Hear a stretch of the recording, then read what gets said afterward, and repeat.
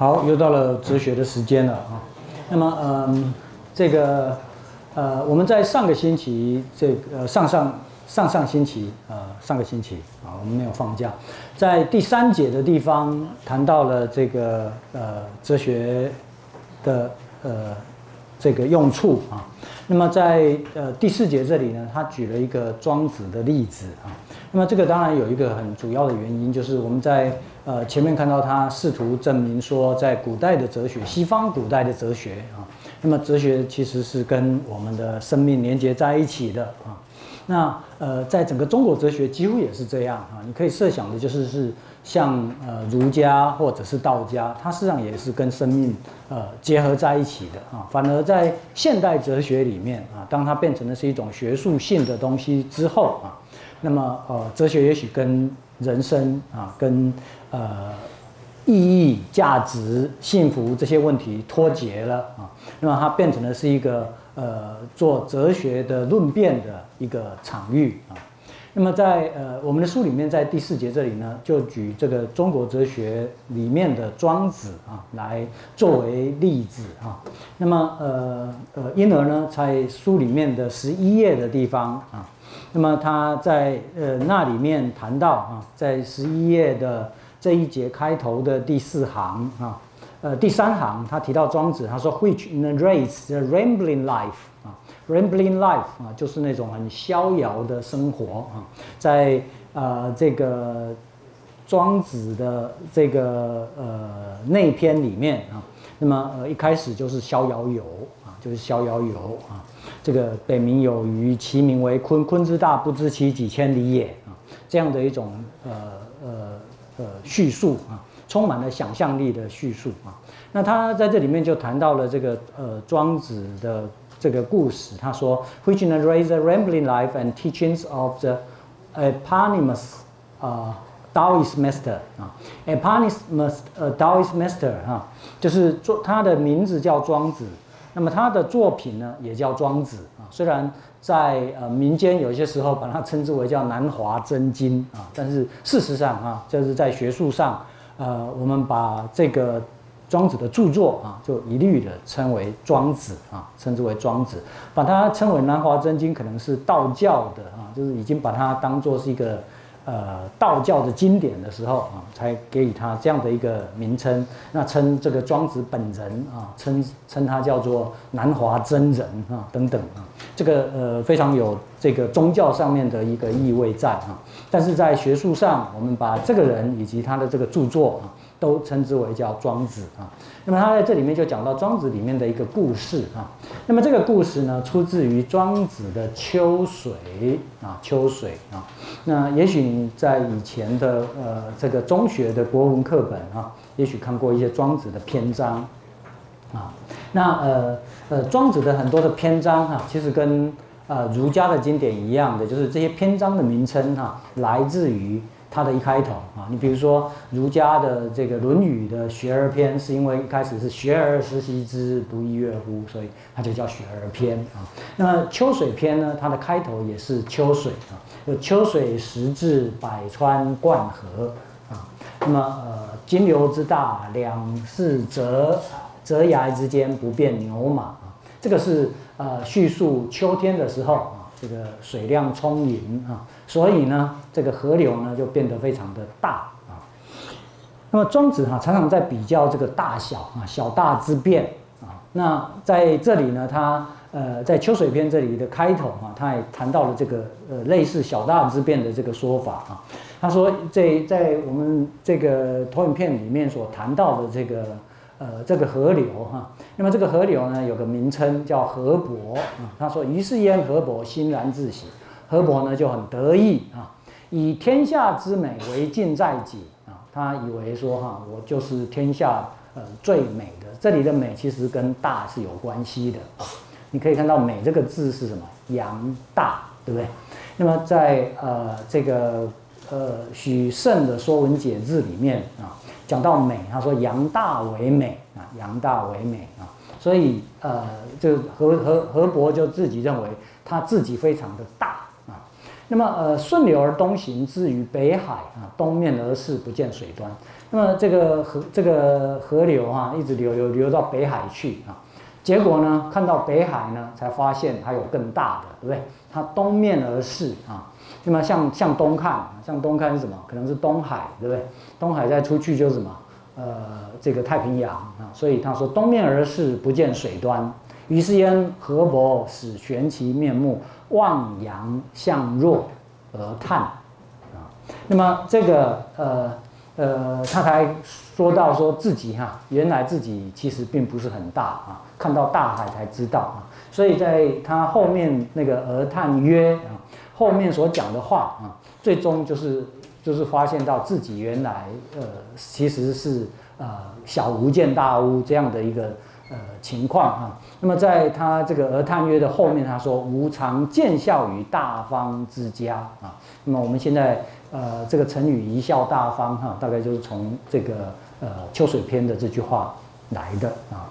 那呃，这个是在呃呃《庄子》里面。那《庄子》呢，这全部哈，它分成内篇、外篇，还有杂篇啊。那秋水是在外篇的地方啊，内篇呃只有七篇是最短的，外篇跟杂篇这个内容都比较多啊。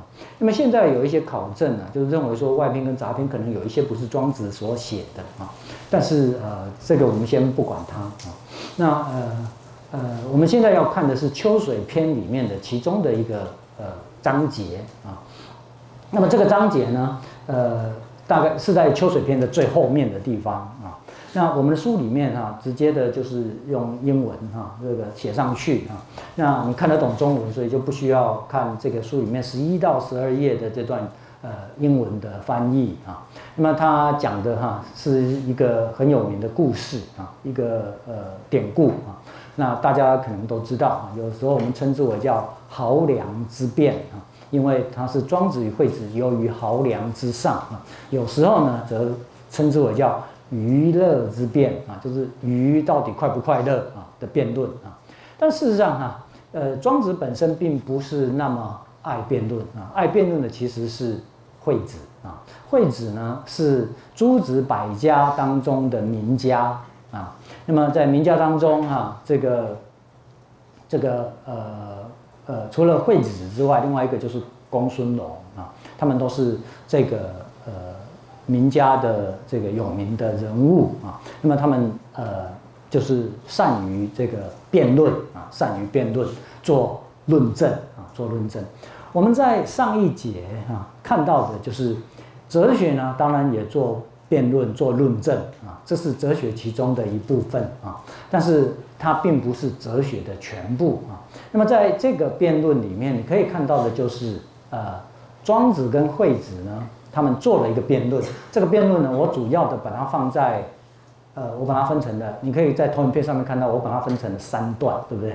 我把它放在第二段的地方啊，在一开始的地方不是辩论，然后在最后呢也不是辩论啊。庄最后的部分，庄子曰：“请寻其本啊。”那么他说：“请 请回到我们在一开始的时候的所谈的东西，为什么呢？因为陷入了辩论之后啊，那事实上就。”就失去了原先在一开始的时候所谈到的那样的一个呃生命的境界啊，也许我可以这样说啊，而这个其实才是庄子所要去强调的啊，在整个呃这个庄子的书里面，我们可以看到，就是他都在谈那样的一种生命的境界啊，也许你可以称之为叫。呃，这个逍遥的境界，或者智人、真人、神人的那样的一种境界啊。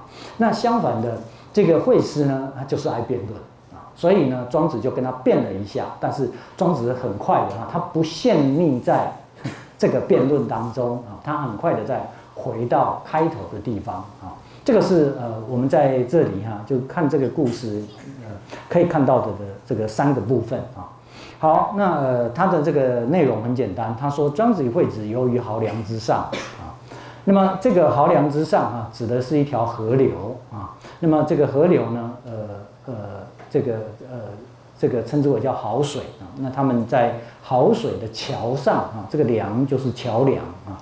那么他们在濠水的桥上，呃，这个呃玩啊。那庄子就说了：‘条鱼出游从容。’是娱乐也啊，那么庄子的这个呃这个说法啊，其实是一个呃呃，你可以说是一种美学的态度啊。那么他讲到说这个呃在呃好水的里下面啊游游在那边游的这个条鱼啊，他说他们呢出游从容啊，又看到他们那个游的这个游水的样子啊，感觉到那是鱼的快乐啊，鱼的快乐。OK，那呃呃，那惠施是爱辩论的啊，所以呢，惠施在这里面就开始啊提出对于庄子所讲的话的批判啊。那么惠子就说：“子非鱼，安知鱼之乐？”他说：“你又不是鱼，你怎么知道鱼快乐？对不对？”他的呃，马上就是给他这个挡住了。对，惠施并不是跟着他一起享受这个快乐啊，相反的，他在这里面对。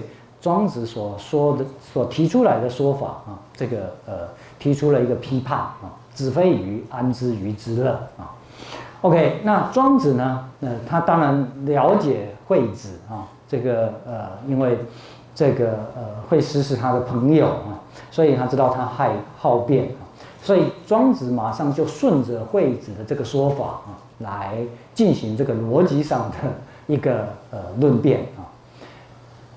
因为惠子说的是“子非鱼，安知鱼之乐”，那庄子就跟着他说：“我如果按照你这个道理来说，对不对？如果一个人不知道鱼，他就不会知道鱼的快乐啊。如果我按照你这个道理来说，那子非我，安知我不知鱼之乐啊？那你又不是我，你怎么知道我不知道鱼的快乐呢？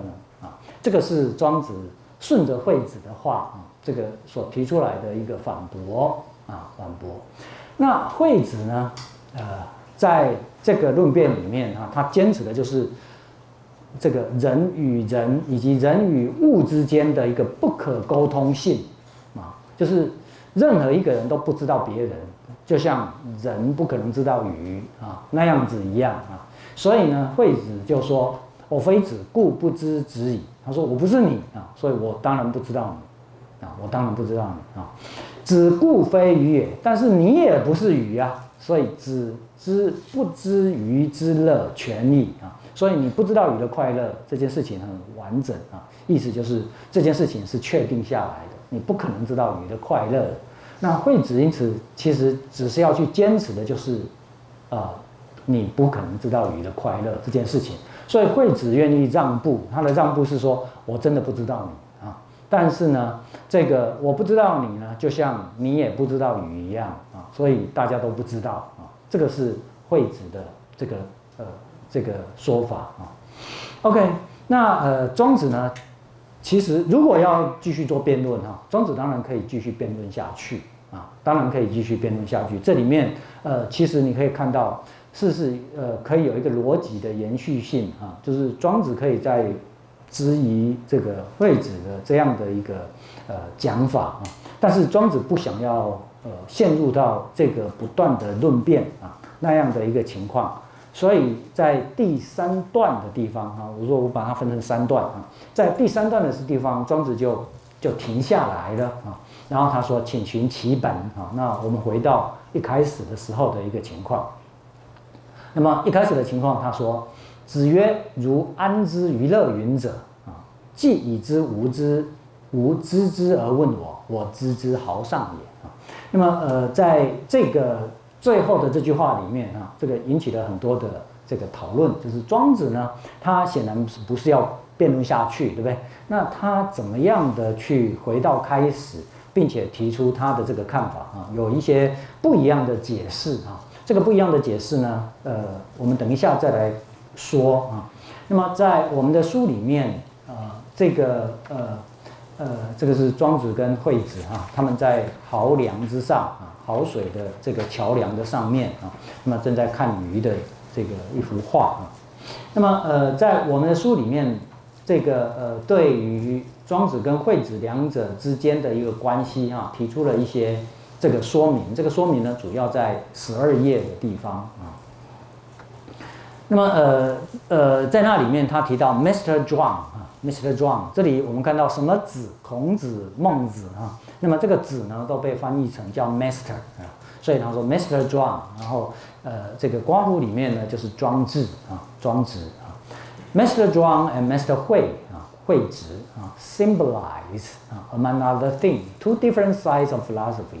他说他们两个人的这样的一种个性啊，其实象征着哲学里面的两种不一样的面相，each important in its way 啊。那么呃，这两种不同的面相其实是一样的重要的啊，一样的重要的。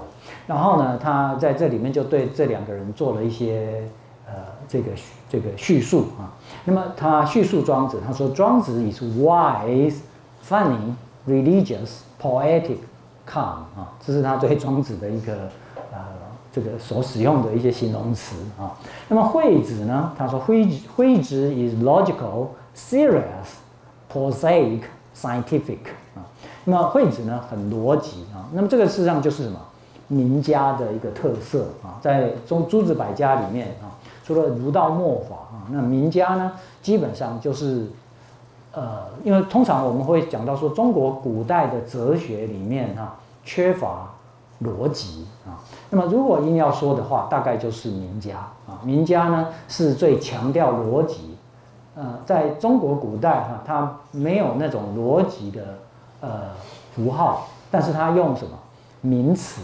啊，用各种名词，呃，来加以说明啊。你比如说公孙龙的“白马非马”啊，那么在“白马非马”的这个说法里面，他其实把“非”理解为是不等于，所以白马不等于马。为什么？因为你知道马包含白马、黑马、灰马，对不对？所以“白马非马”意思说白马是不等于马的啊。当他这样子下定义的时候啊。如果我们现在不管白马非马，我们先管非，他说非就是不等于，你会觉得很合理啊。可是等到他讲白马非马的时候，你就觉得，哎，怎么会这样啊？白马为什么不是马啊？那么这显示什么？显示在我们日常生活所使用的这个字眼里面啊，其实呃跟逻辑的那些符号啊，可能是有一些差别的。就是我们说是啊，并不是就是等于的意思，对不对？你说我是学生啊。其实是说我是学生这个大的集合里面的其中的一员，而不是我等于学生啊。那如果是这样的话，那就会把其他的人给排除出去了，对不对？那么非呢？呃，其实在我们的日常生活的使用里面也是如此，也就是说我们并不是呃把它理解为是不等于的意思，对不对？而是它并不是它其中的一员。是不属于、不包含于啊那样的一种意思啊。可是如果他先给给了这样的一个定义，然后他再去推论，自然就会推论出白马非马这样的一种想法啊。OK，但是不管怎么样，他在整个的思考里面是很逻辑的啊。这个是呃呃名家的一个特色啊。所以他在这里面他说会只是 logical 啊，或者 scientific 或者 prosaic。呃，都可以跟庄子的那个 poetic 诗意的啊来做一个比较啊。庄子是比较调皮的，所以他不那么的逻辑啊。事实上，刚刚我们在看呃，就刚刚我念到的那个《逍遥游》啊，说北冥有鱼，其名为鲲。鲲之大，不知其几千里也，对吧？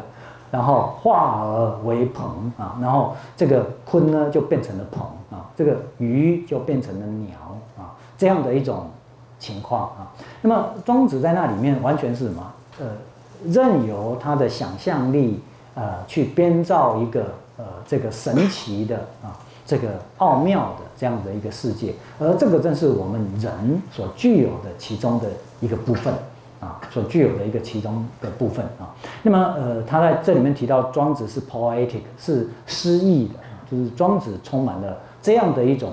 啊，想象在啊，充满了这样的一种想象在，而他的这个哲学啊，他的这种对人生的思考，在他的这个想象当中啊，这个呃，在他的呃像诗一般的文字当中显现出来啊，包括我们在这里面看到呃呃这个呃庄子跟惠子，对不对？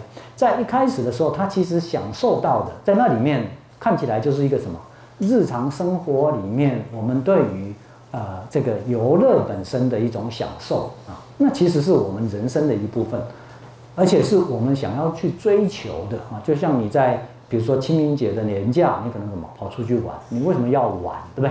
玩能够让你赚钱吗？不会，它只会花钱，对不对？玩能够让你节省时间吗？不会，对不对？它只会花你更多的时间啊。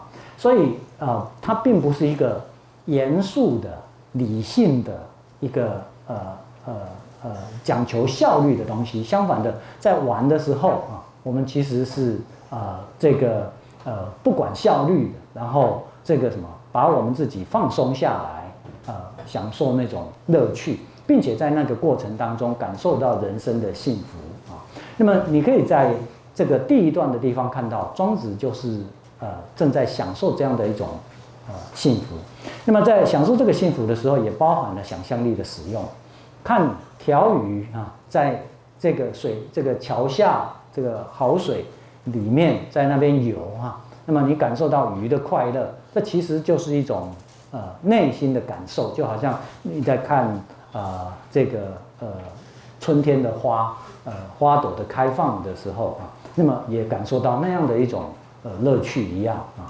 那么这个是我们在呃第一第一段的时候所看到的一个情形啊。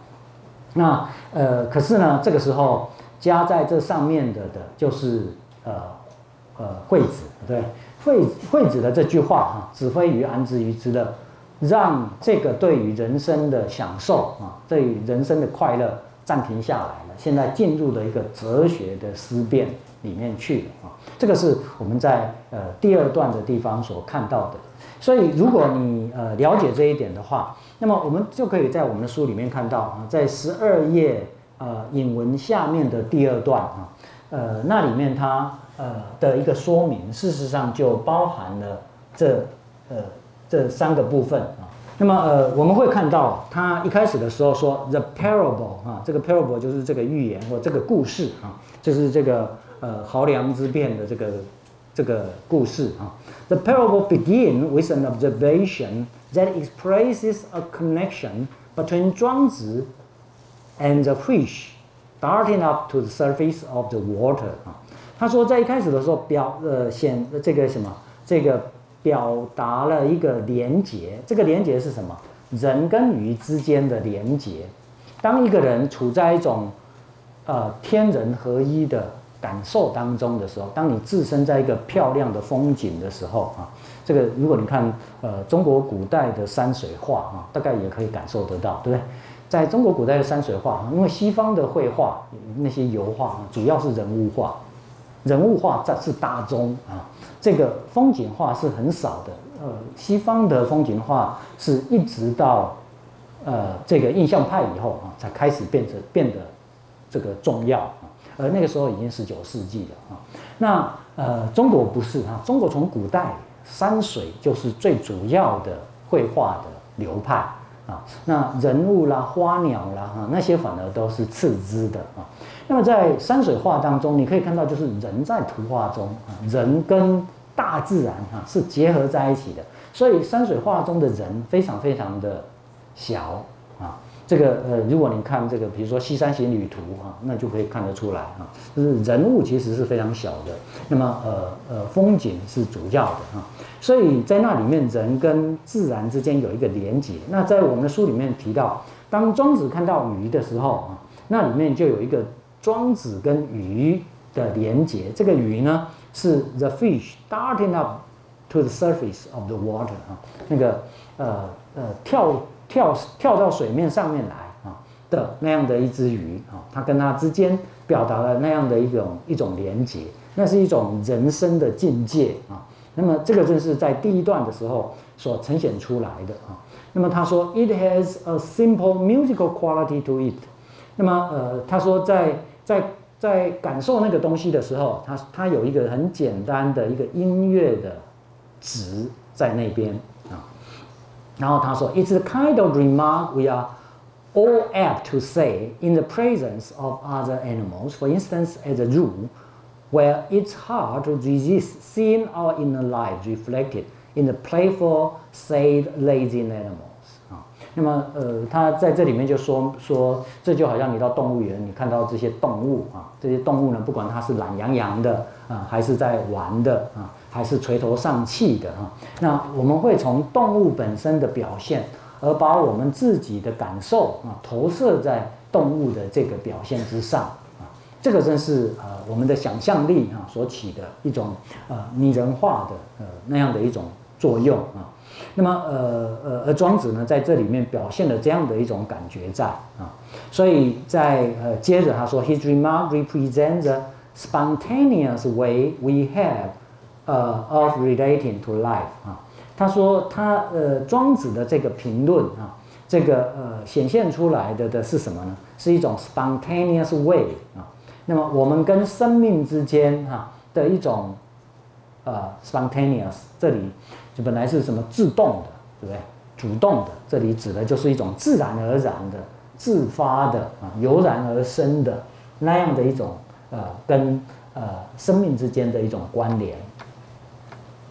呃，spontaneous，然后它的这个。名词是 spontaneity 啊，我把它翻成叫做自然天机啊。这个是在呃庄子这本书里面啊的一些呃常常被呃就是谈到的的一呃一些英文的名词哈。因为中文的很多词哈不见得在英文里面找得到，那他们会用这样的一种字眼啊来形容庄子啊 spontaneous 就自然而然的浑然天成的天机的啊。那么，呃，庄子呢，正是在表达这样的一种自然天机啊。那呃，在两个呃中译本里面，他通常把它翻成叫自发的啊。我觉得自发的也 OK 了啊，但是呃，没有像自然天机那样啊，呃，那么的生动啊。一个东西自然而然的，就是什么？你你好像很很随着，就是就是很自然的萌发出来啊，这样的一种呃情况啊。这个是呃在呃十二页的中间这一段啊的说明哈，那么呃十二页十二页中间这一段的前半段大概就在说明的就是啊我们刚刚所分成的第一段那个整个的那个呃内容啊，然后呢接着呢呃十二页中间这一段的这个中间的地方啊，那么他接着就谈到了第二段的部分，他说。惠子 disrupts this spontaneity 啊，那么呃，惠子呢在这里就什么，就打断了这个呃这个这个天然的一种感觉啊。现在有一种呃比较人为的东西出现了，为什么？因为理性要开始运作了啊，理性要开始运作了。所以他说惠子 disrupt this spontaneity and question the validity of its implicit reasoning 啊，然后他去质疑。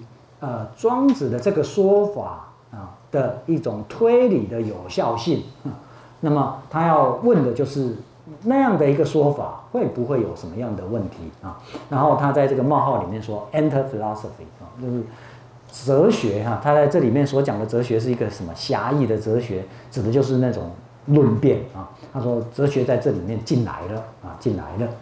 那么他说，庄子 happily follow this new line of thought and Doubles down on 惠子是 principle，那么当惠子这样的一个质疑的时候，他说庄子其实一开始的时候，他知道他跟这样的朋友在一起就是要遭到这种质疑哈，所以他说他很快乐的跟随着惠子的这样的一个思想的呃这个呃脉络啊，或者思想的一条线，然后呢，他把惠子的这个说法的原则。重复了，重复意思是说，我就照你这个原则来说啊，就照你这个原则来说啊。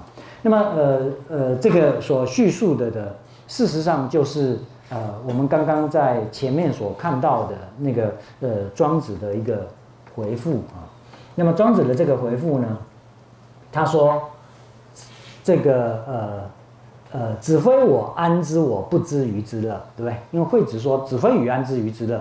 那庄子就说：“我我照你的这个逻辑啊，那如果照你的这个逻辑的话，那你怎么能够知道我不知道鱼的快乐呢？啊，所以庄子在一开始的时候，事实上是跟着惠子啊，他他就呃顺应着这个惠子的原则啊。那么在我们的书里面，他用呃这种比较呃这个西方人的一种思考的方式来说，他说：If one animal can understand another, how can one human understand another？啊。”如果这个一种动物不能理解另外一个动物，那么人又怎么样能够理解另外一个人呢？It's a potential potentially paralyzing conclusion 啊。那么呃呃，他说这是一个什么？呃，一个潜在的平行的一个结论啊，潜在的平行的结论。好，那么呃，在这个呃惠子庄子这样的一个辩论里面啊，那么他就谈到啊，他说 all of a sudden 啊，他说 suddenly 我们突然的 we are at the absolute opposite point of where we began，我们就跑到了一开头的那个相反的方向。在一开始的时候，非常的感性，对不对？我们是按照着我们的想象力在进行的啊，所以那里面他说“条鱼出游从容，是娱乐也”啊，那其实是呃顺顺着我们的感性。可是呢，现在在第二段这里，我们看到的就是呃逻辑理性啊，在这里面进展啊，所以一下子跑到一个什么相反的那个面向去了啊。跑到一个相反的面面向去了，那么那个自然而然的那个自然天机现在不见了，现在出现的是什么？是一种人为的思考的啊，那种理性的东西是需要你去动脑的啊，因为如果你照的是你的自然的天机，你不需要动什么脑，你就你就顺任着你的本性啊，你就可以享受春天的快乐啊，享受春天的气息啊，享受你所自身的。呃，郊外的风景或者等等啊，但是现在不是啊，现在在做逻辑的论辩，对不对？所以一下子跑到一个呃相反的方向去，这个就是呃第一段跟第二段之间的一个主要的差别啊。那么在这这个第二段这个地方哈，那他呃就说到哈，他说 Our spontaneous connection 啊，那个自然的关联 to the world seems far away。现在呢，看起来好像离得很远了。我们跟事物之间的一种自然关联，而且惠施哈，他的论点主要的就是要打断这个关联。他说，人跟人之间是不可能相理解的，就像人不能知道鱼，鱼不能知道人啊。所以他把一切的 connection 都要给打断掉，对不对啊？所以呃，惠子在呃接着他说：“我非子，故不知子矣。”他说：“我也不知道你。”但是呢，最重要的是，子故非鱼也，子之不知鱼之乐全矣啊。那么这正是惠施所要所要做的哈。所以在这种情况下，当然就没有任何 connection，对不对？没有任何的连结了，一切的连结就都被呃在这样的一个辩论里面就去除了啊。那他说，Now we seem to have no connection to anything at all. Maybe nothing makes sense. This too is a moment. Of philosophy，他说这个也是哲学的其中的一个时刻，在那个时刻里面，你坚持着某种观点，并且呢，在那个观点里面就跟其他的东西脱离了啊，人跟人之间变成是一个什么辩论的，从而是对立的那样的一种情况啊。那么这种情况跟在呃这个这个豪梁之上啊，感受到这个条鱼的快乐啊。呃，是完全不一样的的一种情况啊，这个是我们在第二个部分啊所谈到的。好，所以你理解到十二页的呃中间这一段哈，其实它就是叙述第一段跟第二段，对不对？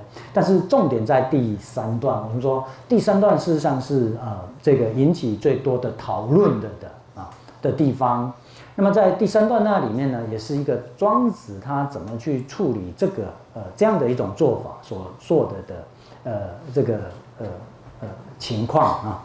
那么呃呃，在我的投影片这里哈，我呃用了一些呃用了一些呃这个我们的书里书里面所没有提到啊，这个庄子里面的一些呃叙述啊，因为。刚刚我们提到说，在名家里面啊，主要的就是惠施跟公孙龙啊。那呃，这个公孙龙本身哈，他有一本著作叫《公孙龙子》啊，也就是呃，你也可以把公孙龙称之为叫公孙龙子啊。那么也就是说，书名跟人名也是相同的啊。那么在公孙龙子里面就有很多名家哈，这公孙龙子的一个主张啊。那惠施呢，他本身没有著作。所以我们知道惠施这个人，事实上是从很多其他的著作里面啊谈到这个惠施。那其中一个很大的一部分就是来自于庄子啊，因为庄子跟惠施是好朋友啊，所以那里面就有很多这个对于惠施的叙述啊。那么各位在这些叙述里面啊，这个是呃我把它印的很小是，因为我我觉得我们不需要把它全部呃这个呃看过哈。你可以看到，就是惠施是很爱辩论的啊，所以在一开始的地方，就是《天下篇》那里，他提到惠施说，惠施多方啊，这个他知道东西很多，奇书五居啊，书很多啊，有五辆车那么多啊，其道揣博啊，那个他的他讲的那个道理非常的复杂啊，其言也不重，利物之意啊。等等，然后后面就是惠施的一些主张啊，什么自大无外，谓之大一啊，就是最大的东西是什么呢？就是它更外面没有了啊，那个就叫自大，对不对？那么这种自大呢，他说惠施就把它称之为叫大一啊。那么自小无内，谓之小一啊，等等啊，这个是呃一些惠施的一个主张啊。那在呃呃投影片的第二段那里，他提到。惠施以此为大观于天下而小辩者啊，这显示的就是什么？惠施呃，这个所擅长的一些辩论，而且这些辩论看起来哈，就是一些诡辩啊。这些诡辩包含了他讲到什么？卵有毛，鸡三足啊，就是他辩论说鸡蛋是有毛的，然后这个。呃，鸡呢是长了三只脚的，等等啊，然后什么狗就是羊，羊就是狗，等等啊。他透过这个定义，然后呢推论啊，然后就可以得出这些很奇怪的一些说法啊。就还好像我们在讲白马非马那种情况啊，那白马非马是公公孙龙的一个主张啊。那么他们都会得出一些看起来很很违反我们经验法则的一些呃结论出来啊，会是。的情况跟公孙龙很类似啊。那呃，在呃这个第二段最后面，他提到变者以此与惠施相应，终身无穷，就是两个人变来变去啊，那一辈子变不完啊，这样的一种情况啊。所以惠施跟公孙龙其实很像呃中国古代的这种诡辩学派啊。呃，这个也是在庄子的这个《天下篇》里面啊谈到的。这里谈到的惠师特别多啊，我把那个有惠师的名字的都用红色的给标出来啊，就是让你看看在庄子里面啊，这个讲会师哈谈谈的多么的多啊。那么在这里你可以看到的就是，他事实上也把会师跟公孙龙啊放在一起，就是上面他提到环团公孙龙辩者之徒啊，这里还除了公孙龙还有环团，然后会师等等啊。就是这些人哈，都是这个呃春秋战国时代的名家啊，名家。那么呃呃呃，而且从最后一段看起来哈，这个庄子实际上对惠施也做了一些批判啊，也做了一些批判啊，觉得惠施呢把他的精力都用在这个辩论这件事情上面啊，其实是可惜的一件事情啊。好，这个是呃关于这个这个那。在刚刚我们看到是《天下篇》，那么在庄子的《秋水篇》里面啊，在呃惠施这个刚刚我们所看到的那个濠梁之变啊，或者是娱乐之变的前面啊，事实上还有一段也是讲到惠子啊。那么这个这个惠施呢，他那么爱辩论啊，那他事实上对呃政治也很有兴趣啊。那么所以呢，他呃。呃，这个他的一生啊，其实也在很多的国家之间跑来跑去啊，然后就是希望能够得到诸侯的这个重用啊。那么在呃这个故事里面讲到惠子相梁，就是惠子呢成为梁国的这个宰相啊。那庄子呢就去看他啊。那对于惠子来讲呢，这个庄子是另外一个知识分子啊。那庄子来哈，这个惠子呢就觉得很紧张。啊，就觉得很紧张啊，想说庄子会不会抢了他宰相的职位啊？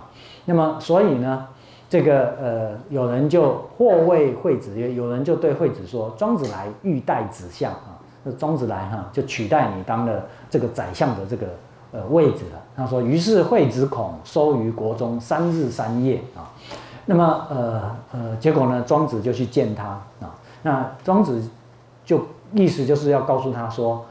呃，我对像做宰相这种职位哈是不屑一顾的啊，你不用紧张啊。他说：“南方有鸟，其名为鸢雏，子之之夫啊，你知道吗？你知道有这种鸟吗？夫鸢雏发于南海而飞于北海，非梧桐不止，非炼石不食啊，非礼泉不饮。他说这种鸟啊，非常的尊贵啊，这个很挑的啊，这个吃啊喝啊啊都非常的挑，连休息的地方啊都还选树啊。他说呢，于是吃得腐鼠。他说现在呢有一只吃就是老鹰啊，呃，他呢这个抓到了一只老鼠啊。啊，鸢雏过之啊，鸢雏呢飞过去，那个老鹰呢仰而视之曰：“呵啊，这个他就抬头说啊，走开走开啊！今子欲以子之梁国而贺我耶啊？那你你现在也就是像那只老鹰一样啊，呃，这个想要把我吓走啊，叫我不要待在这个地方啊，看起来好像是这个样子啊。那么这都显示什么？庄子跟惠子在。呃，态度上的不同。我们的书里面提到说，惠施是 serious，对他很严肃啊。然后他这个什么，呃，对政治是有一种抱负或者一种一种这个欲求的。但是庄子对这个是完全没有的啊，他是一个诗人，对不对？是个艺术家的一种态度啊。那所以庄子就对惠子讲的这样的话啊。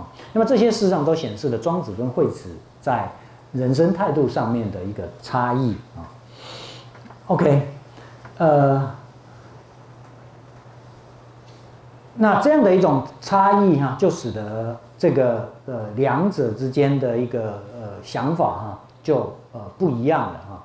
那么在我们的书里面啊，那么他谈到了这个呃呃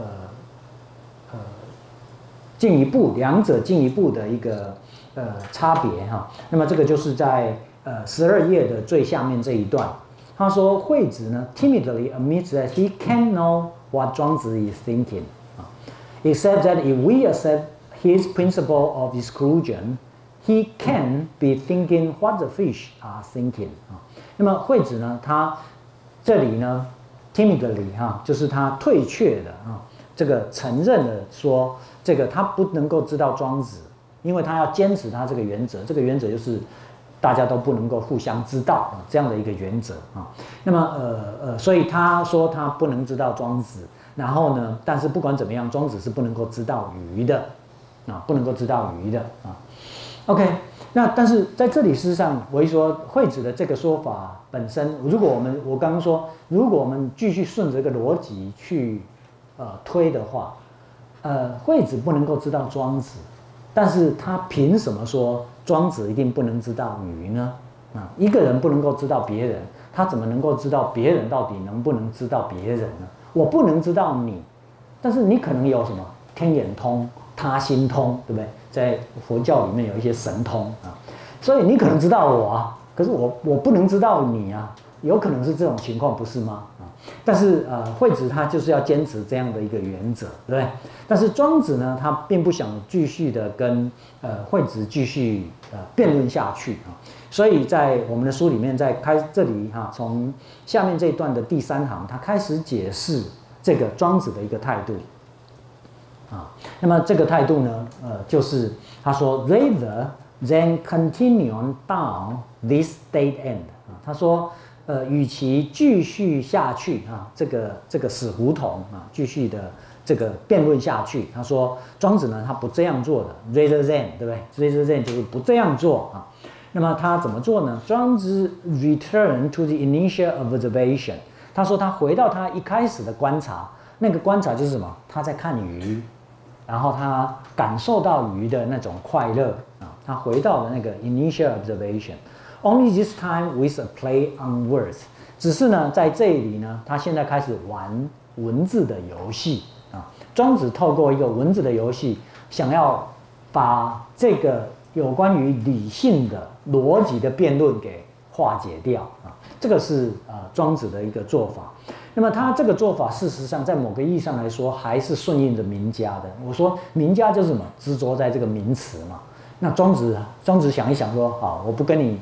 做这个逻辑的推论，那我们就继续来谈谈这个名词啊，做这个想做这个这个名词。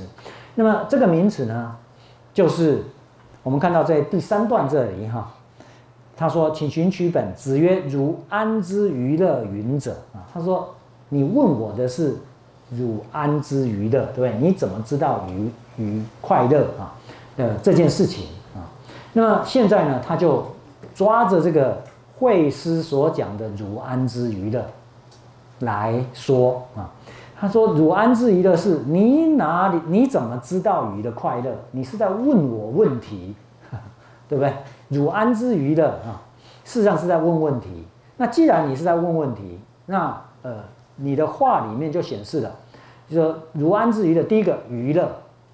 但是你问我是你怎么知道娱乐，对不对？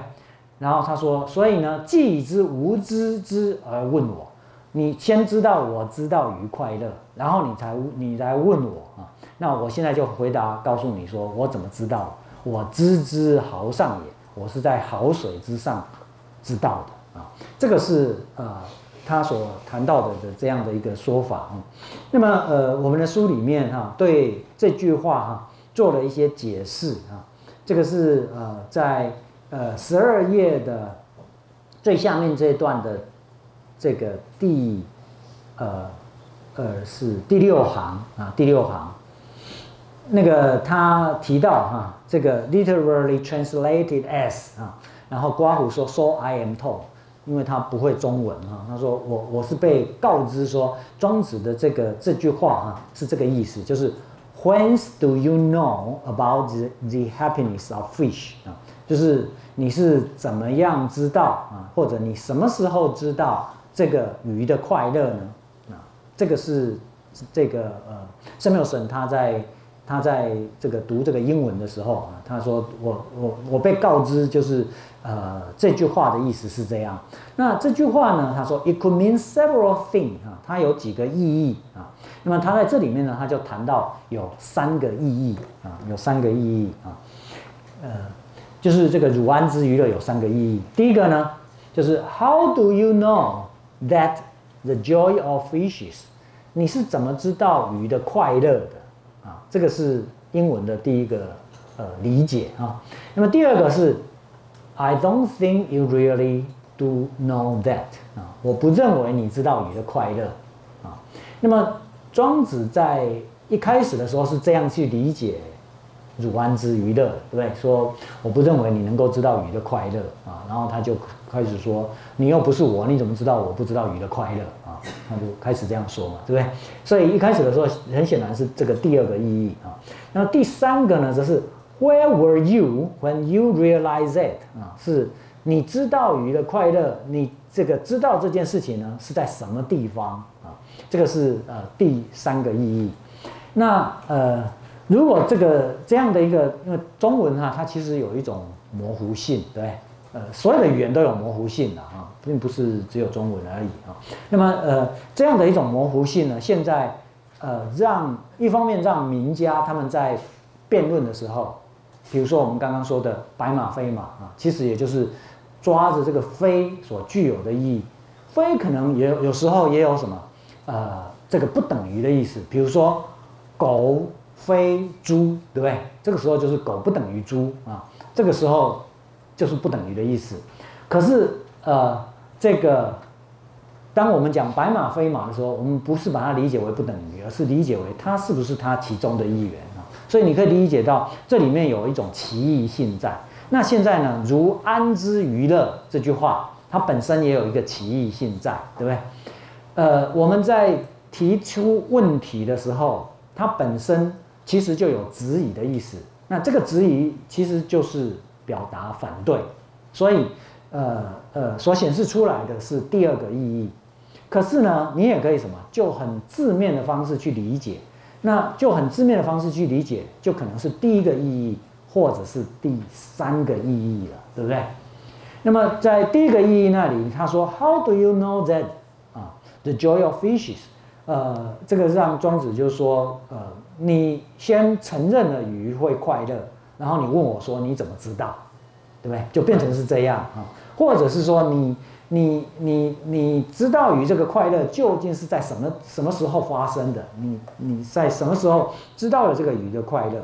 那庄子呢？现在就就就这个第三个意义来回答他说：吾我知之豪上也啊，我就是在好水的上面知道的。你问我在哪里知道的，我告诉你，我就是在壕上知道。所以他现在就什么，呃，用这个名家本身所擅长的这个语句本的意义，然后他把它跳脱到它字面的意义，然后回答这个呃这个惠子啊，这个是我们在呃这里看到在这句这个这个濠梁之辩里面啊，庄子的一个做法啊。那么所以他这个做法就是我不跟你继续做逻辑的推论下去了。那我有我有什么可以化解的方式啊？如果照名家的方式，既然你这么抓着语言的辫子，那我也就跟着你抓这个语言的辫子，是你刚刚所问的问题，我用另外一个意义去理解，然后呃去说明。那么在这个说明里面呢，他又重新的回到哪里？重新的回到鱼的快乐这件事情，对不对？我在好水之上，啊，我知道了这个鱼的快乐，我感受到这个鱼的快乐啊。这个是庄子的一个呃特别的一个做法啊，那么呃这里面就显示了什么？庄子跟惠子的一个不同，事实上也显示了就是庄子在他的这个整个书里面啊，就是所呈现出来的，他不执着在那个论证上面啊，在这点上面，道家跟比如说儒家或者是名家哈都有很大的不同啊，儒家跟名家都很严肃啊，都很坚持啊，那么所以他们也都什么呃。比较想做官啊，那庄子从头到尾这种不屑一顾啊，这样的一种态度啊，对他来讲，感受到人与世界的一种整体性啊，对他来讲是最重要的的一件事啊，而不是这样的一种呃论证啊，所以他在这里面他又什么跳出了这个论证之外，但是他跳出了这个论证之外，并不表示什么这个论证就是被他彻底的这个否定了，其实这是他其中的一部分，对不对？你可以理解到就是。当他碰到一个爱做论证的人，他也跟他做一个论证，可是他绝不把他的生命彻底的放在这个做论证这件事情上面了啊。那么，呃，我们在上一节所看到的，就是现代哲学的一个特色，就是什么？就是好像哲学的学者啊，就只剩下第二段的这个部分啊，就是他现在就是什么，只做论证啊。那么相反的，他对人生啊，就缺乏了任何。呃，具体的感受啊，那么这个正是在上一节那里面啊，我们的作者呃所要说的，就是哲学不应该只是以为二就是全部啊，相反的，哲学包含的是一二三啊，这整个这个全部啊才是哲学啊。休息一下，待会儿继续。好，那么呃，上一节课最后所谈到的的这个呃庄子的这种呃方式哈。这个他处理这个跟惠子之间的这个辩论的方式啊，那么在我们的书里面，他呃写到的是这个十二页的倒数第第七行啊，他说庄子 playfully 啊，他这个呃呃好玩的啊，disregard the second meaning 啊，他这个呃就是丢掉了或者是抛弃掉了啊，不考虑。那个第二个意义啊，那么这个第二个意义呢，就是我们在刚刚所看到的，他呃所讲到的，就说 I don't think you really do know that 那个意义啊。那么他不管那个第二个意义啊，and answer the first and the third question 啊，他用第一个以及第三个，把它视为是第一个跟第三个问题，就是会师呢，其实是在问他问题，所以他就去回答那个问题啊。那么也就是 I know because I am here. I know right here by the river. 就是在这个好水之上哈，我知道了这个鱼的快乐啊，他就变成用这种方式来回答会师啊，回答会师。OK，这个是啊庄子的一个处理的方式啊。呃，那呃在呃十二页的最后四行哈，那么他谈到了。郭象啊的那个《庄子集注》啊，你知道这个郭象是注解庄子很有名的一个呃学者啊。那么呃，郭象在那里面谈到哈，我们书里面这个呃十二页的最后四行，这个是英文的翻译啊。那么如果回到郭象的那个中文啊，原先所写的是“夫物之所生而安者，天地不能易其处啊”。呃，我们书里面把那个处就是翻成 position 啊，不能改变它的位置啊，阴阳不能回其业啊，那么这个不能回其业呢？那个呃，这个回其业这个英文把它翻成叫 take back this livelihood。那么呃，不能够拿回那种生命性啊啊那样的一种情况。他说：“故以陆生之所安，之水之所之水生之所乐啊。那么陆生之所安，其实就是在讲庄子，对不对？庄子是陆生的，对不对？水生的是什么？鱼啊。他说，所以呢，人庄子呢，那个能够知道鱼的快乐，未足称妙耳。那么这个妙呢，他把它换成叫 strange，意思是说这件事情呢，一点都不奇怪啊，其实是不奇怪的。”啊，那么呃，郭象的这个注啊，就写的非常形上学的味道在啊，讲到这个天地啊、阴阳啊等等啊，他其实呃呃，就是回到一种庄子的一种人生的态度。这种人生的态度呢，讲的就是什么？这个天地世界的一种一体性啊。那么在这样的一种一体性里面啊，那么陆生能够知水生啊，这样的一种情况啊，这个是呃。郭象注里面的一个这个叙述啊，那么在这个叙述里面啊，它事实上也呃显示了就是庄子他呃回到那个根本，而这个根本呢就是他所认为的就是这个世界的一体啊这样的一种呃观点啊。那么呃我们的书里面除了这个谈到这个之外哈，他呃另外他举了这个。呃，美国后来这个呃换了国籍到英国去的一个呃诗人 Eliot 啊，那么他里面的的一句话啊，这个这个话哈，他认为哈跟庄子的这个叙述是很像的啊。那么这个话呢，就是呃这个是他诗了啊。那么这个诗诗句哈是在我们书里面十三页第三行以下啊。他说：“We shall not cease from exploration。” And the end of all our exploration will be to arrive where we started, and know the place for the first time. 啊，那么呃，在这首诗里面呢，他讲到这个探索、探险啊，探索或探险本来就是一种走出去，对不对？走出去啊，离开自己原先所待的地方，到一个陌生的地方去啊。但是呢，他在这个诗里面他说。这个呃，他说我们不可能停下来探索，我们活在这个世界上，总是不断的探索。不管你的探索是探索一个新的环境，或者是探索一个新的学问，或者探索一个新的道理啊，或者认识一些新的人啊，这些都是 exploration，对不对？那么他说，we should not cease from exploration。然后呢，我们的探索或探险呢，and the end of our exploration will be to arrive where we started。他说：“他的终点呢，其实就是我们的起点啊，就是探索的终点，呃，最终就是回到这个起点来的啊。然后呢，当我们探索了之后，回到了这个起点呢，我们才什么？Know the place for the first time，我们才第一次的知道这个地方，也就是你第一次所待的地方。只有透过向外面去呃追寻，然后你才，而且追寻最终的。”终点是回到了自己。如果你一开始的时候是你的家，那最终才回到了这个家，而且在那个时候你才什么真正的能够好好的认识你的家啊，就好像如果你被呃出生在一个呃小镇，对不对？那么呃然后你到外面去游历啊，那呃经过了这些游历。你才能够好好的认识你所出生的地方啊，你所你你的家乡是一个怎么样的地方啊？相反的，如果你从来不出去探索，你没有办法理解你所待待在的那个家乡是一个什么样的地方啊？这个是呃，Eliot 呃他的这个 Eliot 他的诗里面哈，这个呃这个所讲到的。那他讲到这个哈，呃那个重点事实上讲的就是什么？那个。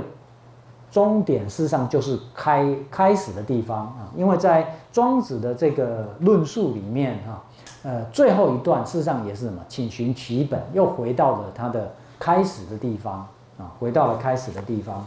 那么呃，而这个正是呃，他在呃我们的书哈，Samuelson 在这里面他要论述了，就是哲学最终啊，事实上是回到一开始，哲学从自己开始，对不对？从自己所具有的一些疑问开始。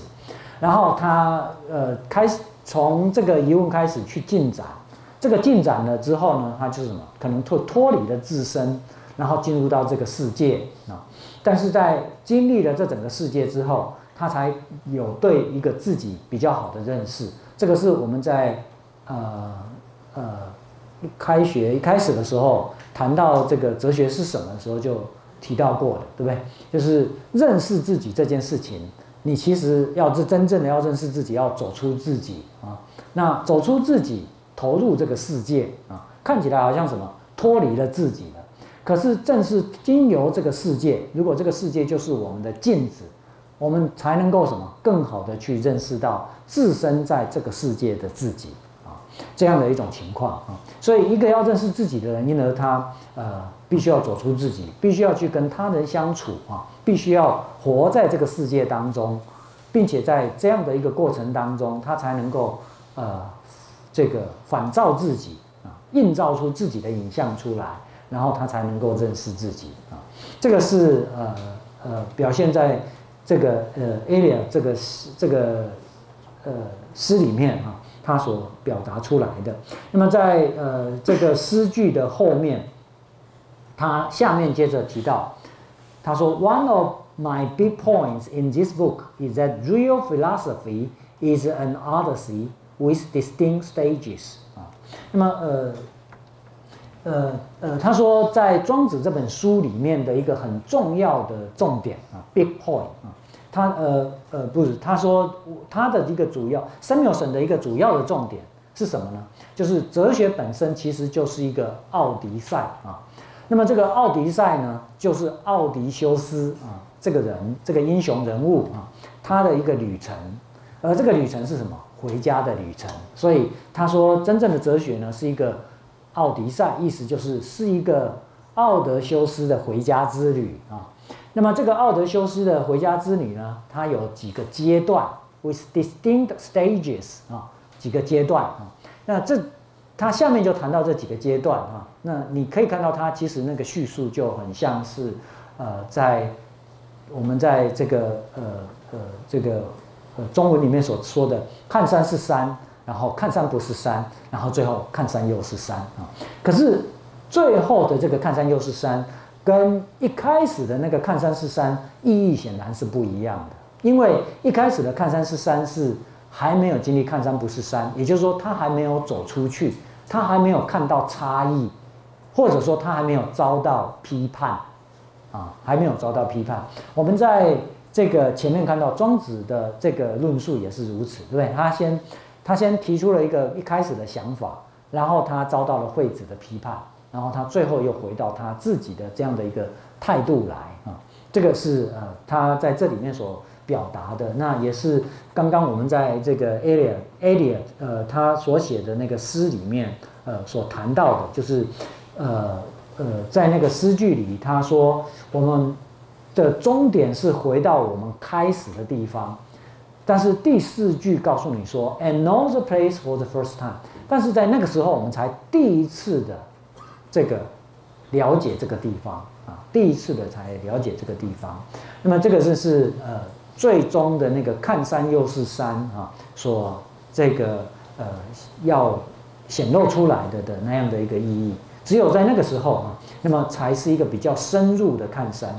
或者，如果我们把它理解为，那就是一种对自我的认识。那么，透过这个世界重新再去认识自己，那个认识才会是一个深入的认识啊。这个是他在这里面所讲到的这个奥德修斯之旅哈，呃的意义。那他说分成了三个阶段哈，在呃这个十三页的引文的下面那一段的第二行开始，就是他谈到这三个阶段。第一个阶段，他说，It begins in a wondrous and often problematic relationship to common life。啊，他说他的那个开端，其实就是一个什么，在我们的日常生活当中的一个呃这个奇异的，但是通常也会是有问题的那样的一种关系啊。那么所以呢，第二个阶段就是顺着第一个阶段它的问题而出现啊。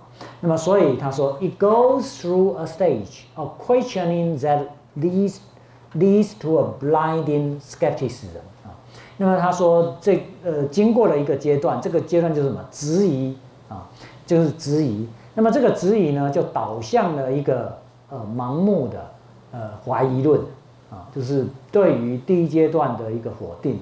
那么你可以看到，就是那是像是一个看山不是山的一个阶段啊。那么在呃这书里面这一段的第呃是第七行啊，那么他讲到第三个阶段，他说：“But its final destiny is to return to to common life and know the place for the first time。”啊，最终呢又回到了他的生活当中啊，并且呢是第一次的。知道这个地方，这个当然是引自这个 Eliot 的这个诗里面啊的这个说法啊。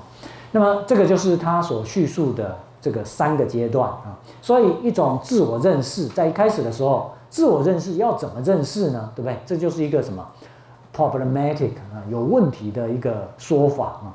那么呃，在这个说这个对于这个说法的质疑里面，让我们什么走向这个世界啊，去询问啊。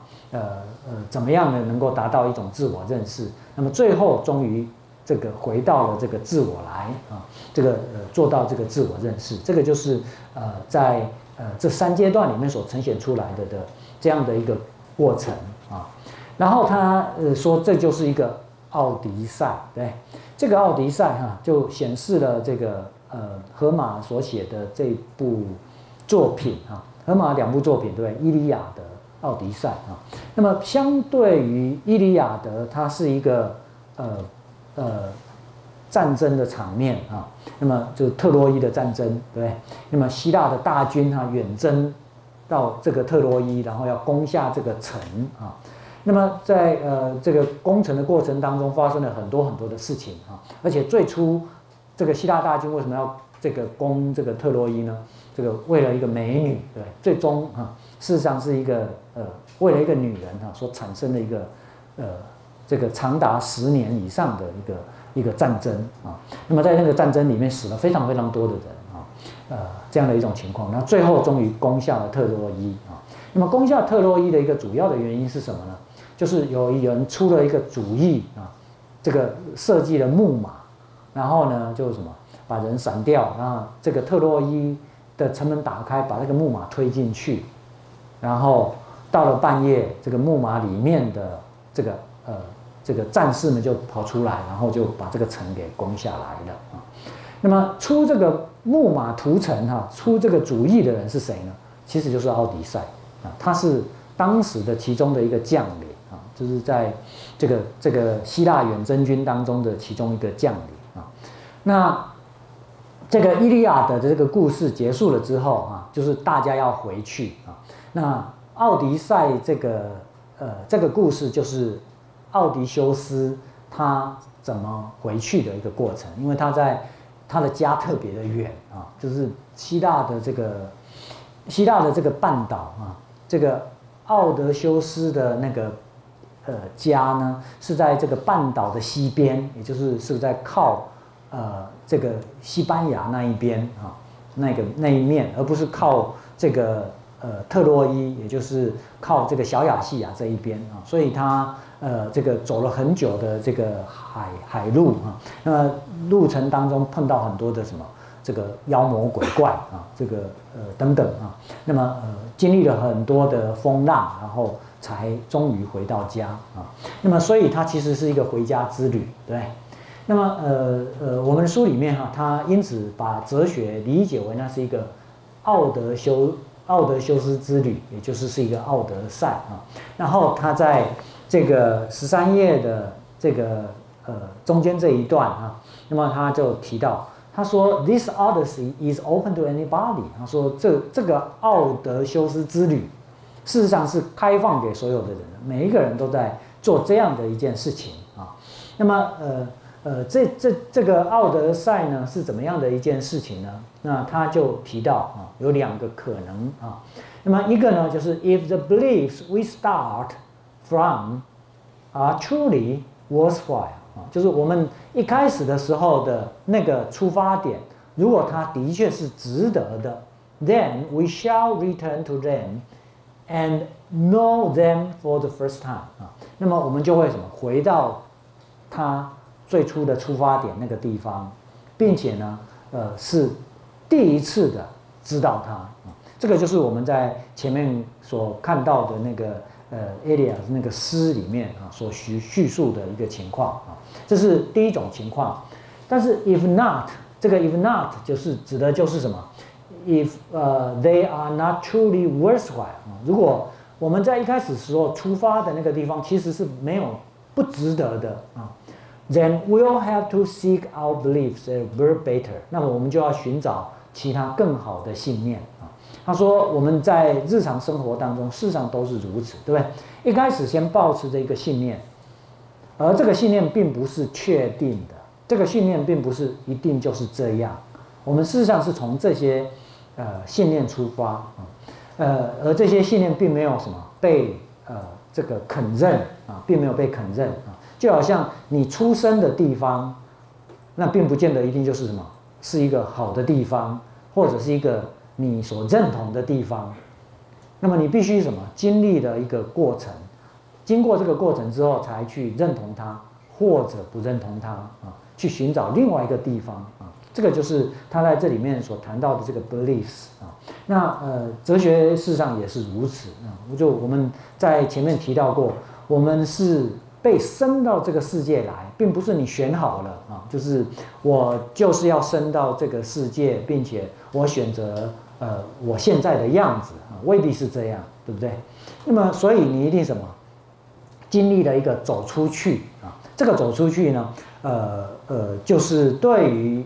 原有的啊，你的出生地或者是你原有的信念的一个批判，然后经历这个批判之后，再看看你是要回到最初，还是你要换一个东西啊？那么这个就是他所提到的那个一跟二啊，两个不同的这个这个呃这个呃结果啊。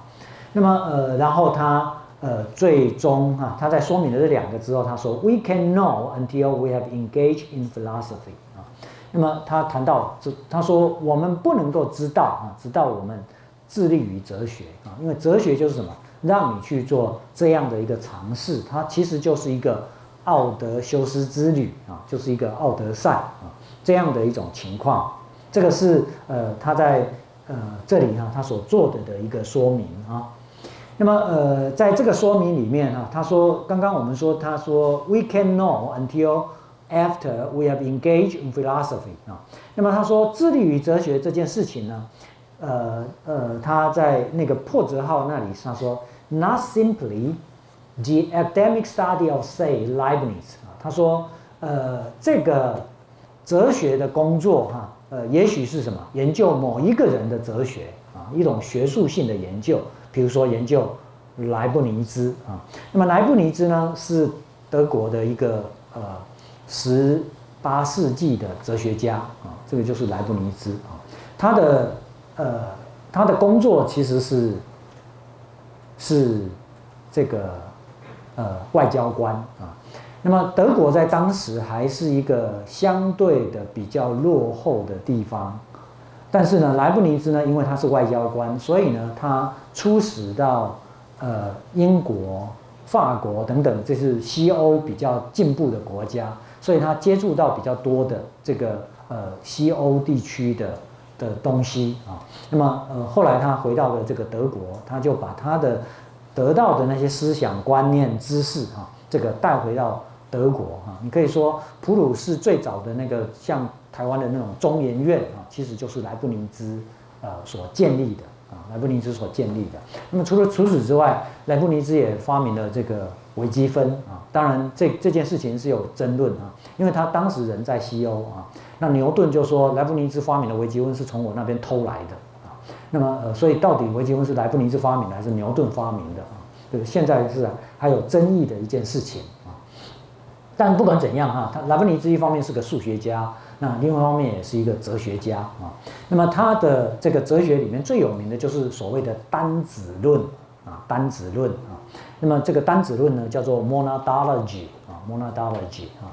那么这个呃呃呃，他把一切的事物都回到一个最基本的单位啊，他把这个最基本的单位呢，用希腊文的 monas 这个字哈，那就呃发明了一个字眼叫 monad 啊，就是我们所说的单子啊。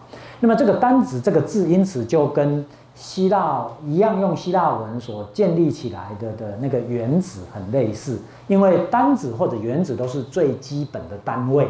啊，都是最基本的单位，只是呢，原子是物质的最基本单位啊。这个 atom 这个字来自于希腊文的 atomos，呃，atomos 的意思就是不可分割的，indivisible 啊。那呃，希腊人当时就是说，呃，把一个东西可以什么分成两半，然后两半再分成两半，两半再分成两半，就是二分之一、四分之一、八分之一，对不对？可以一直分下去啊。庄子里面其实也提到这件事啊。他说：“庄子的说法就是，那这样一直分下去就分不完啊，因为你永远可以二的 n 次方之一，呃，这样子一直区分下去，对不对？但是呢，在呃希腊的原子论的呃思想里面，他们认为，呃，这个事物呢有一个最小的单位，当你分到这个最小的单位，就再也分不下去了。那么他们就把这个称之为叫不可分割者啊，atomos。”那么也就是我们现在的原子啊这个字眼啊呃的由来啊。那当然我们现在原子里面又有什么这个质子、中子，还有环绕着它们的电子，对不对？呃，然后现在还有更小的单位，什么夸克啦什么的啊。呃，但是呢，不管怎么样，在物质的世界当中，好像好像就是说，只是我们找到的还不是最小的单位，但是好像我们倾向于认为。最终有一个最小的单位在，对不对？这个是在物质的部分啊，所以这种原子论者哈，他们基本上都称为唯物论者，因为他们认为是宇宙一一切哈，基本上都是由最小的单位所构成啊。那呃呃，这个莱布尼兹的观点呢，跟这个原子论不一样的地方就在于，他谈的是心灵的最小的单位。啊，那么他把这个心灵的最小单位就称之为叫单子啊。那因为你有心灵，对不对？所以你就是一颗单子。你的单子就是什么？你的灵魂，对不对？就是你的灵魂啊。那我也有灵魂，所以我也是一颗单子啊。那呃，莱布尼兹其实不是只有认为只有人才是单子啊，他认为其实事物也都是单子，所以事物本身呢，也都有像心灵那样的一种作用。比如说，我现在手上所拿的这支麦克风，它也有一种很微弱的感觉，它被一个人啊，一个叫杨直胜的人，呃，拿着拿在他的手拿在手里啊，然后对着他讲话啊，呃，这样的一种情况啊，这个拉布尼兹认为，所有的事物事实上都是一个单子，那么他们都有一种莱布尼兹称之为叫表象的能力，这个表象能力就是他。都有一种感受到他在世界当中，呃，这样的一种呃能力在，只是多么的清晰或者多么的模糊啊！对于莱布尼兹来讲，无生物它这些单子，他们的感受是非常模糊的，而这个生物，甚至越高等的生物，他们的感受就会越清楚啊！所以你可以设想的就是植物。他们本身也可以有某种感受啊！你对着一棵花，每天都呃对它这个骂三字经啊，那个花就长得不太好啊。但是如果你每天都赞美它啊，它就会长得很好啊。所以这显示什么？这这个你的你对它是有某种影响力的啊。这个是呃莱布尼兹的这个单子论啊所具有的一个特点啊，所具有的一个特点。那呃。呃，在他的这个单子论的这个思想里面啊，有一个很特殊的就是单子是没有窗户的啊。这个单子没窗户呢，让我我们刚刚所叙述的，我说你对一棵花这个呃赞美它或者是咒骂它啊，呃呃就变成不存在。也就是说，事实上啊，每一个单子它自己本身哈是封闭的，所以我并没有对着你们讲话，我。对着我自己所产生出来的影像在讲话，那这个影像是什么？就是我在一个呃博雅教学馆的一个教室里面，然后我以为我对着一群人啊，其实呢，呃，在莱布尼兹的设想里面呢，我们每个人本身就是一个封闭的呃电影院，我自己放电影给自己看。我放什么电影呢？就是我正在上课，对不对？啊，那同样的，你也是一个单子，所以呢，你也以为你置身在一个教室，然后正在比如说记笔记或者正在听老师上课啊，你以为你在做这样的一个事情，所以每一个单子都什么？都活在他自己的世界，每一个单子都放映着一部电影在给自己看，让自己感受啊这样的一种情况啊，这个就是我们所说的单子无窗户，也就是说，我们我们之间其实并没有真正的沟通，并没有真正的连结啊。我活在我的世界，你活在你的世界啊。我们每一个单子，呃呃，看不到对方啊，这个单子本身都是呃封闭的。一个情况，那呃，在这个投影片上面写说哈，一切存在于一切之处，所有的东西都无所不在。那么这个呃想法就是，所以我的这颗单子其实能够表象出其他所有单子的所有东西都存在在我之内啊，都存在在我之内啊。那个我能够感受到所有的这个其他的的事物，我自己就把它给呃放在我的影片当中。呃呃，这个构想啊，那如果是这样的话，那我们怎么能够说我在上课，然后你在听课？呃，我怎么知道我上的课是对着你，而你听的课是我在上呢？呃，我们并不知道，对不对？因为单单子是无窗户的。可是呢，莱布尼兹呢，他有一个特别的想法，就是所谓的预定的和谐。这个预定的和谐呢，就是当我在表象，当我在放一部电影是我在上课的时候，刚好你也在放另外一部电影是你在听我上课啊。那么这个呢，就是他所说的预定的和谐。这个预定的和谐呢，在莱布尼兹那边就要归归根于上帝啊。上帝让每一个单子本身所放的电影啊，刚好搭配的很好，所以有人在上课，刚也有人在听课啊，就像那样子一样。呃，那当然也有可能也有人在翘课，对不对？那么他先因此那个在翘课的单子呢，他所放的电影就是他现在人在外面玩啊，然后他有想到说，哦，现在正在上折盖，以及等等，呃，这一类的事情啊，这个是莱布尼兹的一个呃很特殊的一个单子论的一种呃呃这个思考的一种方式啊，对感官经验其实。因为我们用电影做例子的时候，我说你放一部电影给自己看的时候，我们感官经验只有视觉。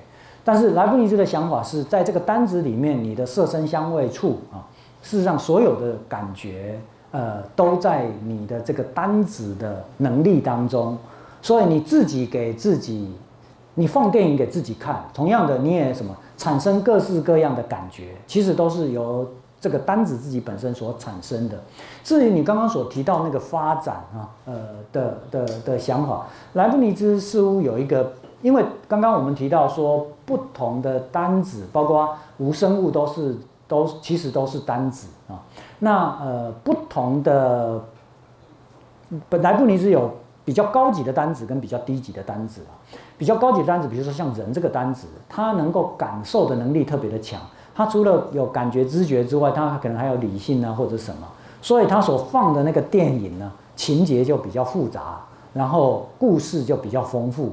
相反的，呃，麦克风它的它的这个单子就比较对，就比较弱，所以不太明显的感受这样的一个情况啊。那个呃，我想到在。呃，黑格尔曾经在讲这个莱布尼兹的这个单子论的时候，他举过一个例子。他说有一个人拿着一只棍子在打一只狗，然后呢，他说当那个人拿着棍子在打那只狗的时候呢，他说，他说那个那个打狗的那个人哈，他本身呃，因他本身是一个单子，所以是他放就是好像放了一部电影哈，是他拿着棍子在打狗的电影，所以他以为他在打一只狗。呃，可是，在这个同时呢，他说有一个狗的单子，这个狗的单子呢，他放的电影是有个人拿着棍子在打他，然后他也感受到被打啊，所以他就这个哀哀叫啊，这样的一个情况。然后还不只是这样，他说还有一个棍子的单子，这个棍子的单子呢，他感受到他被一个人拿着在打一只狗啊，呃，这样的情况。而这三部电影呢，同时在放映着。那同时在放映就是莱布尼兹所谓的预定的和谐啊，就是你所放的电影刚好都会搭配的起来，这是他的奇怪的单子论。这个是呃一个比较特殊的一个思想啊，对不对？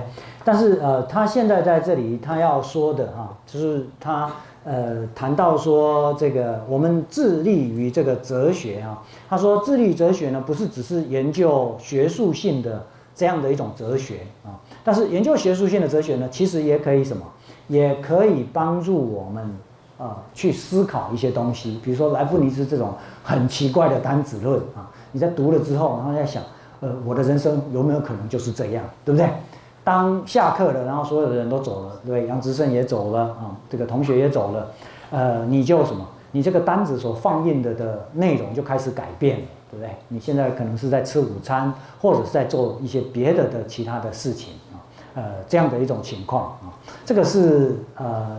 在在那个单子论的那个思想里面所显示出来的啊，那他说不是只有这样的一种对莱布尼兹的研究啊，能够帮助我们这个理解我们自己啊。他说还有呢，but the real work of examining our life，还有呢就是什么？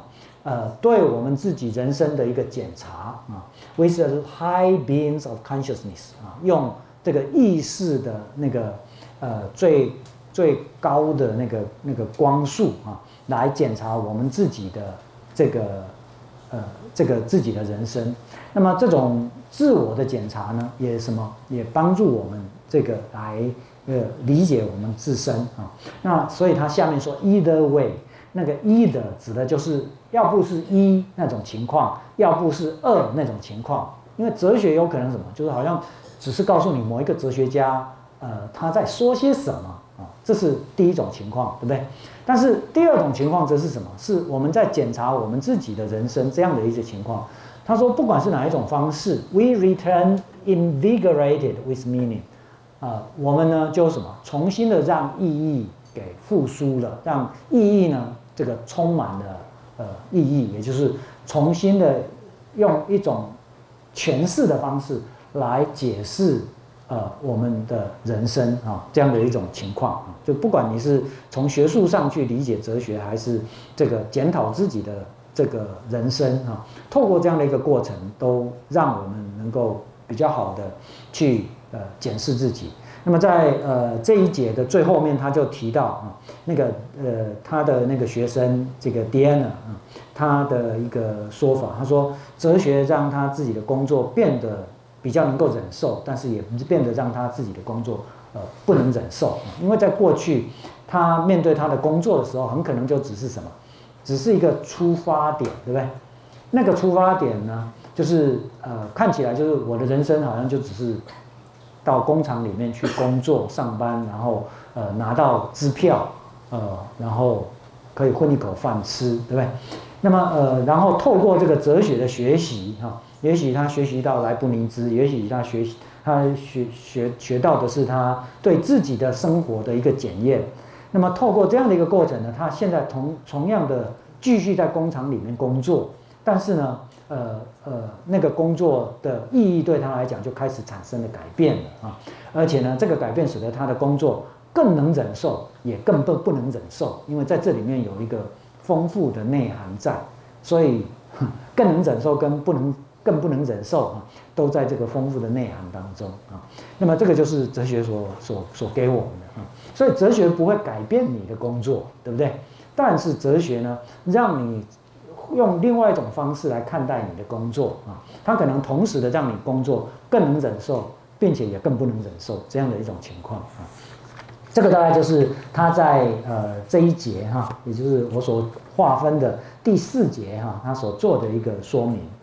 好，那呃，接着呢，我们就是要进入到这个第五节来哈。那第五节呢，它谈的就是哲学跟这个呃奥迪赛哈它之间的这个关系啊。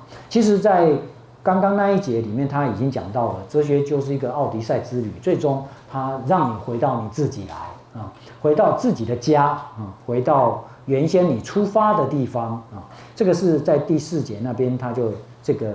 呃，提到的，那么到这个第五节啊，它下面呢，首先讲到的就是柏拉图的理想国。那柏拉图的《理想国》呢，一共有 ten books 啊，十卷。那么第十卷啊，就是这个 book ten 啊。那么他在那里面呢，有一个生死轮回的故事啊。我们之前呃这个讲到洞穴的故事的时候啊，其实也是出自于这个呃《理想国》啊。那在第十卷的地方，也就是最后一卷的最后面啊，他讲到这个生死轮回的故事，这显示什么？显示希腊人哈，他们原先是相信生死轮回的。那么是一直到基督宗教进来之后啊，这个基督宗宗教没有生死轮回，对不对？你知道在人类的文化当中哈，一直都有两种不同的看待这个呃人生呃，或者是看待世界的进展的一种方式啊。一种方式呢，就是像呃柏拉图呃这种有轮回的观念，或者是像时钟呃呃，我们说那个时钟。它从这个呃绕一圈之后，然后它又为什么回到起点，然后再继续再绕一圈，对不对？它不断的绕，或者我们说四季春夏秋冬，冬天过去了，春天还会远吗？春天就到了，对不对？所以春夏秋冬，春夏秋冬，它就什么？呃，不断的循环啊。你可以把这样的一种观点视为是一种循环型的，或者有时候我把它称之为叫圆圈型的。那样的一种，呃，人生的一种看待。那如果是这样的看待人生的话，你知道，人死了之后还会在什么？呃，轮回，然后又出生，然后又长大，然后老了，然后死了，然后又为什么再出生？就不断的轮回，对不对？就是用圆圈的方式看待它。那么另外一种呢，则是直线型的。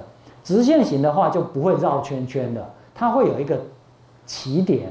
开端，然后会有一个终点结束，就好像圣经里面有创世纪，那是起点，对不对？那是起点。然后圣经的最后是启示录，它告诉你，呃，有一个最后的审判，然后最后的审判结束了，呃，整个历史就告终。所以它因此有一个开端，有一个结束，它不会绕圈圈的啊。那是另外的一种看法啊。那么在西方的民族里面啊，在印欧民族，也就是雅利安人啊，他们的看法基本上原来都是这种循环型的、圆圈型的看法，包括希腊人在内啊，都是这样的看法啊。那么直到来自于闪族啊，这个呃，也就是来自于犹太人啊，他们的这种一种观点进到西方。那它所带来的就是告诉你，没有这种循环了啊，有一个起点，有一个终点，那终点结束就一切都结束啊，这个是另外的一种不同的看法，他们分别代表的就是在西方的文化里面啊两种不一样的一个态度。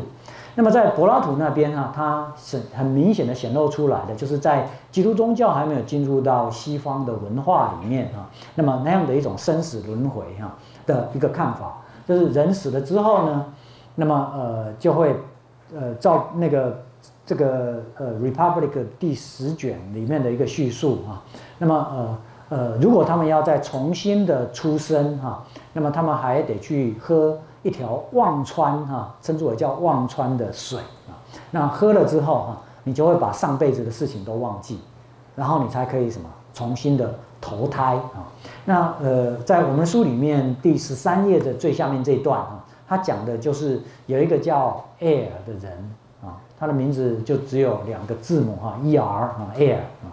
那么这个叫 Air 的人呢，他是在战争当中死掉了啊。那呃，然后呢，在还没有被呃，希腊人，各位如果还记得的话，我们在前面提到，希腊人处理尸体的方式是用火，火葬，对不对？然后就把它烧掉啊。那埃尔在还没有被烧掉的时候，竟然活起活过来了啊，活过来了。然后呢，他就说，我现在还记得我死掉的，就是他在大概第十天的时候啊，活过来。然后他就记得他在呃，人家觉得他死掉的那段时间。他在这个阴曹地府发生的事情啊，然后他就讲给大家听啊，讲给大家听啊。那呃呃，然后他说他还记得的一个主要原因就是，他没喝忘川的水啊。当别人都在喝的时候，他就偷偷的不喝啊，所以他就还记得这件事情啊。那呃呃，所以在第十卷的后面啊，他就是 Air 叙述那个死后的世界是一个怎样的一个世界啊的故事啊。那呃，我们书里面他提到啊。他说啊，在十三页的倒数第四呃第五行，他说 souls 灵魂灵魂们啊，因为那些死掉的人，他们没有身体，就只剩下灵魂啊。Souls go on a beautiful or horrible journey journey 啊，他们呢这进行了一个美丽的或者是可怕的旅程啊，depending on how they had lived。而这个美丽或者是可怕的旅程呢，主要就看他他们在生前呃的表现。如果你在生前表现是一个好人，那你就可以什么进行一个美丽的旅程。相反的，你在生前呢是个坏人啊，那你可能可能就就就就要遭殃啊。这个很类似在东方这种善有善报、恶有恶报的一种情况啊。OK，然后他说哈，在十三页的倒数第四行，他说 At the end of a thousand years，在一千年以后，死了一千年以后啊。那些死掉的灵魂呢？They get to select their next life。他们呢，就是呃，可以选择他们下一辈子要怎么活啊？要怎么活啊？那在选下辈子要怎么活的时候呢？Many refuse the life of a human, still bit, still bitter about the suffering of their previous life 啊。那么很多的人呢，拒绝再成为人，因为他们在活着的时候，在成作为一个人的时候呢，他们是是过得非常痛苦的生活啊，所以他们就不想要再是再作为一个人了。那他在这里面就举了一些例子，就是呃那个艾尔这个人哈，他在当时看到就是人家在挑选下辈子要当什么的时候，他说他看到其中的那个呃希腊的英雄哈，在十三页倒数第二行，这个 Ajax，the strongest of the warriors 啊。呃，chooses to become a lion，他选择他要当一只狮子啊，他要当一只狮子啊。那呃，有关于这个柏拉图的那个呃第十卷的那个 The Myth of Air，Air 的神话哈，呃，这个有很多的研究啊，这是其中的一本书啊，讲那个在人在阴曹地府里面的一种情况啊。那么这个是那个呃。就是神话里面的那个英雄人物啊，那么他选择他要成为一只狮子，对不对？那第二个呢？他十三页的最下面讲，他说 The soul of Orpheus，Orpheus 是希腊很有名的一个音乐家啊。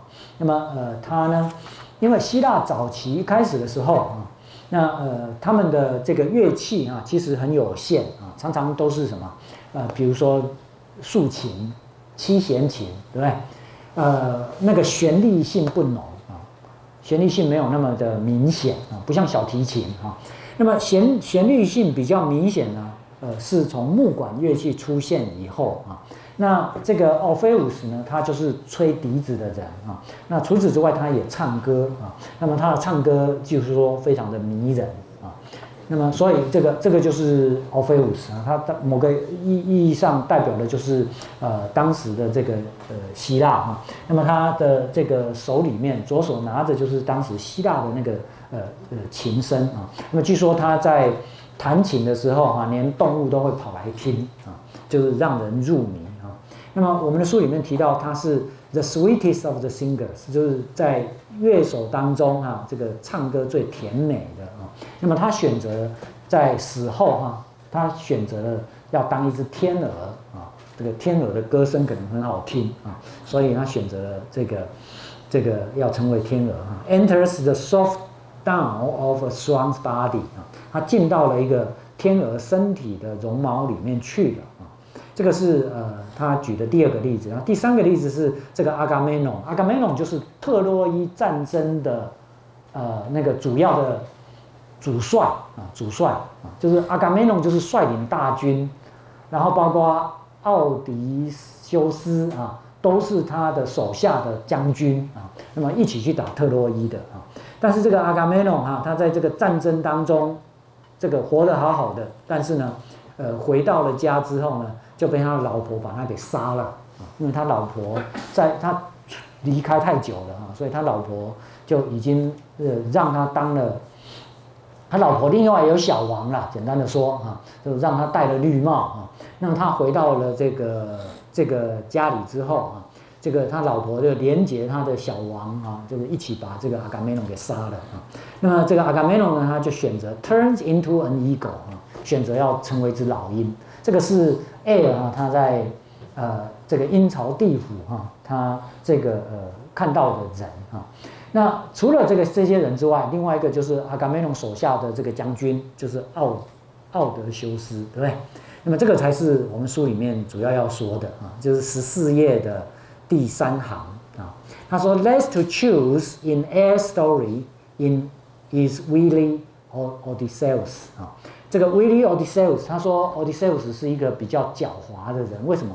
就是他就会去想到用。”木马啊，这个计谋啊，所以他其实是一个呃，这个这个很聪明的一个一个将领啊。那么他呢，Who finds and selects a life neglected by the other？他选择了一个生命，这个生命是其他人所忽略的，就是 the life of a common person。他选择要当人啊。奥德修斯选择要当人。He both even he had 呃呃 even had he cho chosen first。He would make the exact same selection。那么，呃，奥德修斯呢？因为他是最后一个做选择的人哈，所以事实上他没得选择了。因为，呃，一个灵魂搭配就是一个萝卜一个坑啊，一个灵魂搭配，呃，一个躯体啊。那到最后的时候只剩下人，大家都不选啊。那奥德修斯就选择当人，而且奥德修斯说，即使他是第一个做选择，他也要选择作为人啊，他也要选择作为人啊。这个是呃。在柏拉图那边，他对于这个呃呃奥德修斯的一个叙述啊，那我这个放在投影片上面的这个就是特洛伊的这个木马啊，这个是呃画的。后来特洛伊现在在哪里？现在在现在在呃呃这个土耳其这个地方啊，就土耳其的领域里面啊，所以呢，土耳其为了招揽观光客啊，他们就真的做了一个木马。来给观光客旅游的时候看啊，就是曾经在这边发生的这个呃特洛伊战争。那呃这个木马是人真的也可以进到里面去啊，那里面可以容纳非常非常多的人啊，是一个非常大只的一个木马啊。那么这个呃奥德修斯呢就选择了他还是要这个成为人啊，所以他呃呃在这个选择上面呢就跟别的人都不一样啊。那么他的这个选择其实就是回到他自身，他本来就是从人出发，然后他最后又回到他人，就好像他在这个奥迪赛啊，这个这个奥德修斯之旅，他最终是要回到他自己的家。那么作为一个人，大家死后啊，他在轮回的过程当中，他还是要作为一个人啊，这个也是他比较特别的的一个地方。